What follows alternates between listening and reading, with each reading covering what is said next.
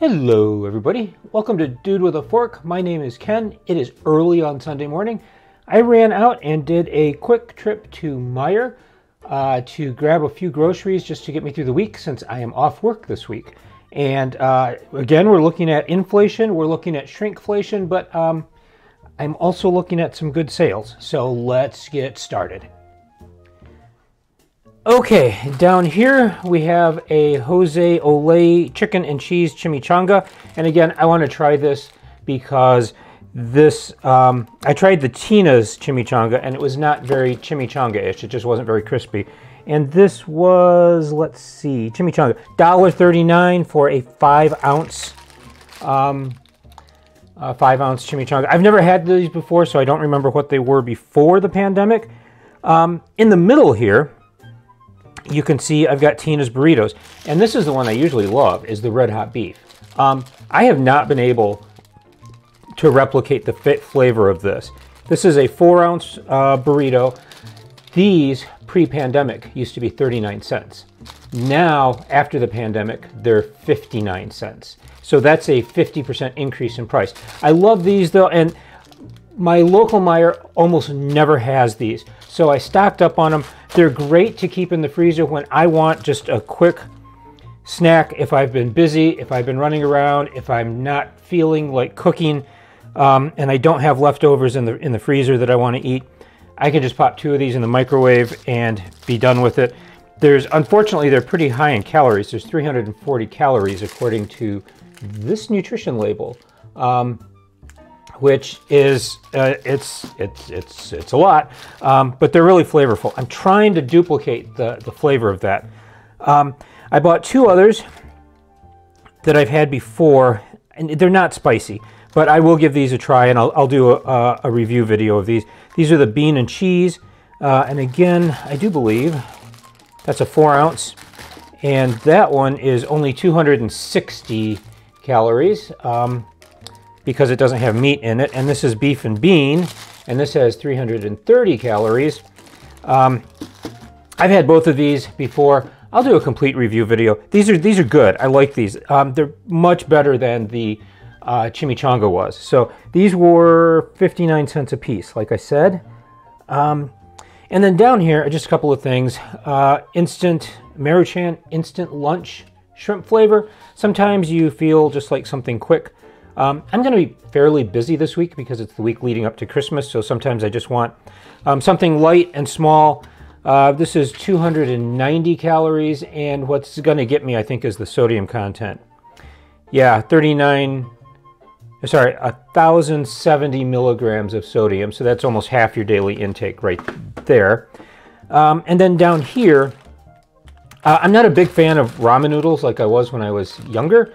Uh, but they had two, two kinds here that I wanted to taste. One is the picante chicken flavor, and the other is the chili flavor. And I, I, I chili? I, I, mean, does it taste like chili, like, you know, with meat and beans, or does it just taste like hot peppers, or what? And this one, I wanted to see, it says hot and spicy right there. Well, you know what? I will be the judge of that.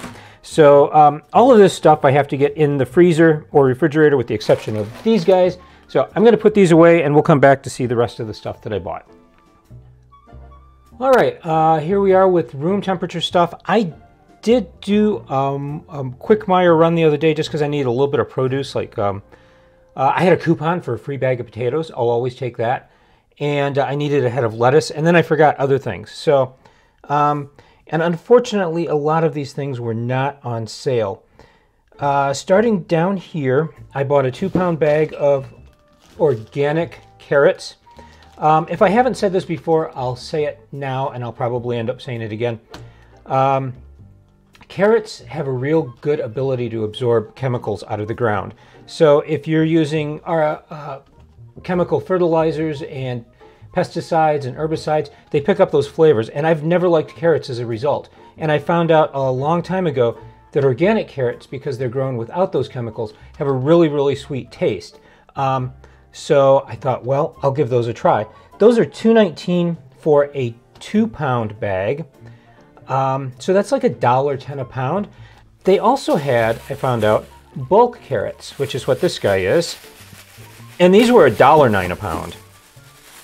And uh, sometimes I have trouble using up an entire two pound bag of carrots. Um, see if I can get this open here. Um, so this is a huge, gigantic carrot right here. Um, I mean, that's just, that that's like, that's like lethal weapon carrot right there. Um, that was uh, 0.535 pounds. So this is a half pound carrot. Um, at a dollar nine a pound, it was 58 cents. So I don't know if these, I, I guess, I'm guessing these aren't organic because they weren't labeled as such and, and stores tend to make a big deal. Like that's a huge selling po point. Um, but sometimes you just need a carrot. And so it's, it's nice that they had them in bulk. Unfortunately, a lot of them were broken. Um, and you can see this one's kind of scratched up and banged up. It's not in the best of shape. I kind of had to dig to find that one. Um, but that was a dollar nine a pound.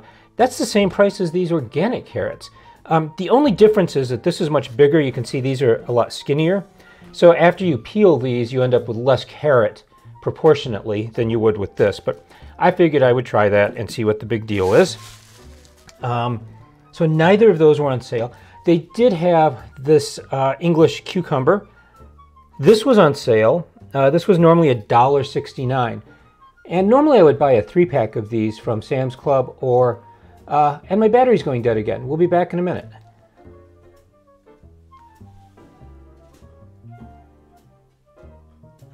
So this is Sunday morning, uh, December 18th. We have a week until Christmas, and this is what I love about Sunday mornings. There's hardly any traffic about. Um, it's very cold. It's minus four degrees. Uh, what is that? Um, like 25, 26 degrees Fahrenheit. So there's not actually that much snow. It's just cold, but there is a there's a truck over there in that parking lot plowing it out. Um, yeah, it's nice. It's brisk. All right, where did we leave off? Oh yes, I was talking about this cucumber. So um, I love these English cucumbers because they're they're burpless. I, I love regular cucumbers, but um, they they do cause a little bit of stomach uh, distress for me. So I don't normally buy these big long ones like this. This is uh, just over a foot long. Uh, I usually buy the little mini ones that come in a bag. I'll typically buy those at Costco or more often Sam's Club. Sam's Club has them consistently. Uh, Meijer does have them. They take four little tiny ones and they put them on a, on a foam tray, wrap them in plastic, and charge like 269 or something, a ridiculous price. Um, so I don't buy those at Meijer unless they, they are on sale. Um, but I do think I'm going to make some overnight pickles. I've been in the mood for that, and I have a really good recipe for that. So probably in the next day or two, I am going to uh, do that for you. Uh, the other thing I did, I bought some tomatoes. Uh, I, am probably going to have a lot of sandwiches. Hello, this week. And um, I like thinly sliced tomato on sandwiches. And I'm probably going to make some tacos too. And uh, tacos, you know, you, you have to have tomatoes on them. Um, unfortunately, the only tomatoes that were on sale were like the really fancy ones, like the Campari tomatoes, which are amazing. They're, I love those. They, they have really great flavor. And I'm not a huge fan of tomatoes, but those are really good. But the one pound package was 249 And the problem with those, the other problem with those is they're all at the same level of ripeness. So you have to eat them really quick. Um, or, or freeze them. You can actually freeze whole tomatoes. So I may do that later on. Um, I may go back later this week if I eat all these up and buy that and then do that. Um, but anyway, so what I do, when you can pick out individual tomatoes, I've got this one here that's like super ripe. So he's going to get eaten first, okay? And then I have two that are less ripe. And um, I'm thinking this one's more ripe, and then this one is less ripe. He seems a bit more orangey. So I'm probably going to eat them in this order. Um, but I will, I will put these on a plate and leave them on the counter and uh, start with this guy and then move to whichever of these two uh, gets ripe quicker. And I'm thinking it's going to be this guy. So this was uh, 0.645 pounds uh, at $1.49 a pound. That came out to 96 cents. So these are 32 cents a piece. And even though they're not on sale, I can kind of live with that. The nice thing about buying things in bulk is that you can get just what you need. Like I said, sometimes I have trouble using up two pounds of carrots um, but I will not have trouble using up all three of these things. Uh, other couple of things that I bought here. I, I have not had Jello in years, uh, and I was in the mood for it. It's the holiday season, and unfortunately, uh, regular Jello brand gelatin was $1.39 a box. So I'm going with the store brand here. This is the Meijer store brand. It's also the sugar-free because I don't like the sugary one. That causes my stomach some issues too. It's just way too much sugar. Um, I don't eat a lot of sugar, so when I do get something sugary, I, I try to be very, very careful about that. Uh, but this was 59 cents, so a lot of ingredients there. Uh, I don't know what most of them are. I haven't looked yet. Um, it does, alas, contain a bioengineered food product, but I'm thinking most of these are dyes and flavorings. Um, really, the main ingredient is gelatin uh, which means that this is not vegan friendly because gelatin is actually a meat product. Uh, a lot of people don't realize that, but that's what it is. So um, the other thing I bought was uh, just a loaf of Meijer split top enriched wheat bread. Um, probably gonna have some sandwiches this week. Sometimes I just want a quick, quick snack for lunch um, or breakfast when I'm busy trying to get a lot of things done. And this this is this is how I this is how I buy bread. Okay, this is not expensive bread. It's not really like super nutritious bread, but first of all, no high fructose corn syrup, which is nice. There's only 80 calories a slice. How well can you see that?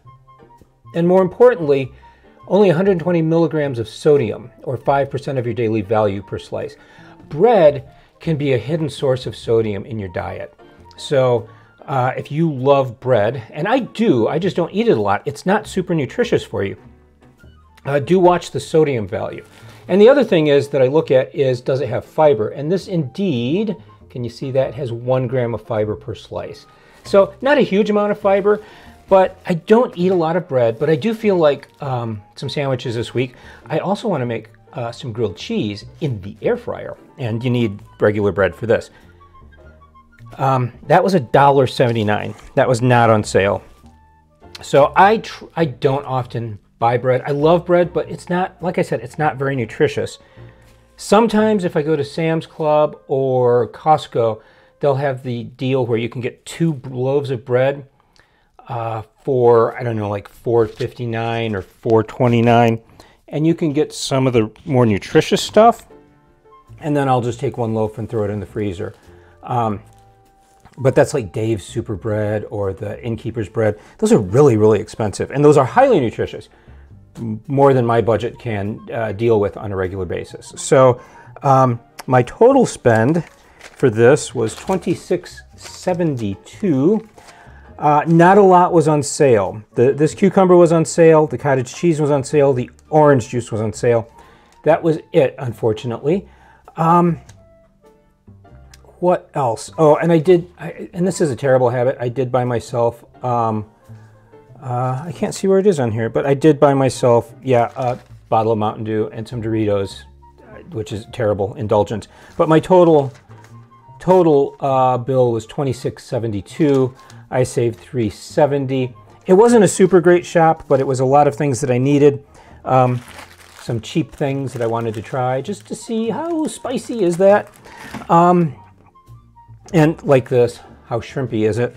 Um, and I needed I needed some things. I needed I needed a lot of produce. So um, a lot of things for uh, upcoming videos. Hello, and um, yeah. So that's it.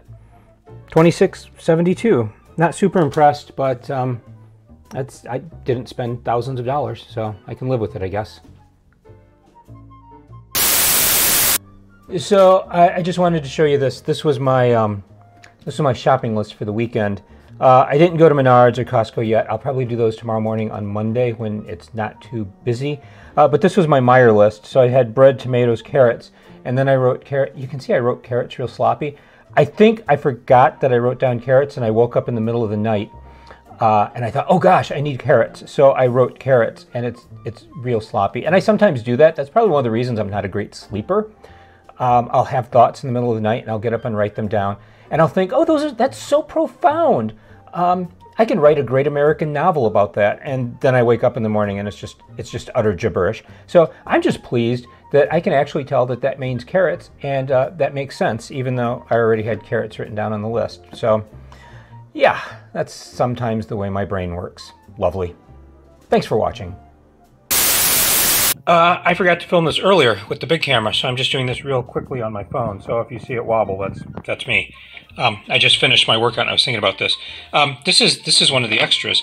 This is Chex Mix, yes, and you've seen Chex Mix before. This does not look like the stuff you get in the bag at the store, because this is homemade taco flavored Chex Mix, and I made this in my air fryer. So I'm going to show you how to make this regular uh, Chex Mix and then some variations like this taco Chex Mix uh, in a few uh, in a few days. I'll get to it this week. Like I said, I have time off. So this stuff is utterly amazing and it's super crunchy. Listen to that.